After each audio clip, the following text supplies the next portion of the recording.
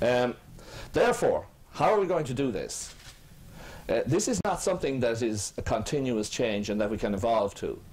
As the world moves to a situation, uh, an inevitable situation where this once-off transition to sustainability is happening, we're also actually, trans uh, the world is transferring from fuels that cost to fuels that are free. Now this is an, an, enormous transition and it's the framing that we have to do around this transition that actually allows us to think of how do we afford this whole thing.